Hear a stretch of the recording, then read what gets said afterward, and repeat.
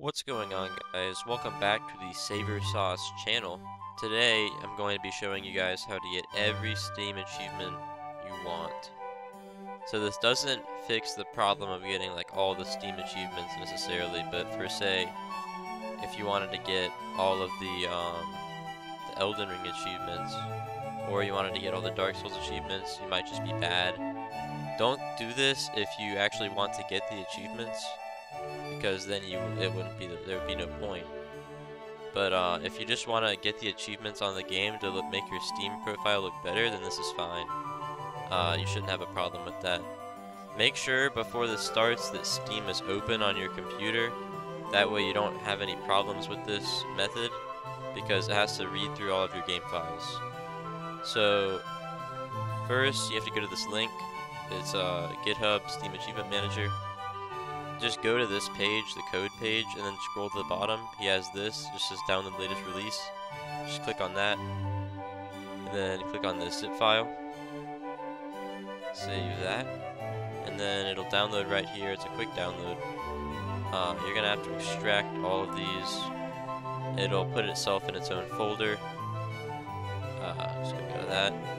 So right here, this is what you need to open. Don't do the git log license, any of that stuff. This is this one with the pink icon is what you want. Just gotta open that. And uh, there we go. So it read my Steam files. So now you can see it's got all of these in here. If there's a game in here you have and it doesn't show it in there, then just go to, uh, there's a, a website, Steam Game, uh, what was it, ID. It's, uh, I think it's this one. Yeah, and then just search your game. So you want Elden Ring. Go here. So if you want to get, if you figure out where your ID is and you want to add a game, just copy that, paste it in here, and then uh, click add game, and then there you go. It's right there. And then say I wanted to get all the achievements for Elden Ring You could go here. You can collect, you could just click, if you click these achievements, then it'll give them to you. Uh, I don't want to get any Elden Ring achievements, so I'm going to go back to the first page. So let's just say I'll get the achievements for... Uh, uh, whenever you find a game you want to get achievements for, you just click click this, it'll, it'll retrieve all the information for the different achievements. If you don't want to get your hours up on a game, don't keep this tab open because it's actually um, opening the game, but it's only opening a, a small portion of the game where it just get just essentially is opening the file with the all the different Steam achievement IDs. And normally, whenever you get achievements, you'll get the achievement in the Steam or the game will say, okay, set this ID to true now, and then Steam reads that and then gives you the, the achievement. So uh, let's just say I want to get all the achievements for this game.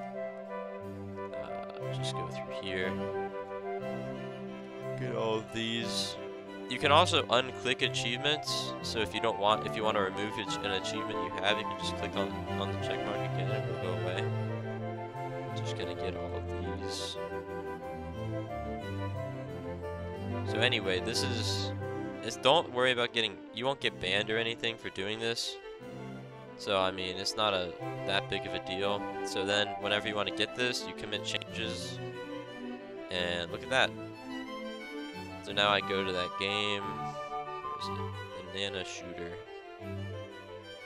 Where is Banana Shooter? Probably looks so stupid. There it is. So see how it's running? So now it's, it's upping the runtime, so I don't need to keep this open anymore, I can close it. And you can see right here all the achievements. I got all the achievements for this game. Didn't play it. I have I have 20 minutes in this game, but it gave me all of them, all of the achievements. So uh, if you guys enjoyed this video, make sure to like and subscribe. I'm to probably make more videos like this in the future.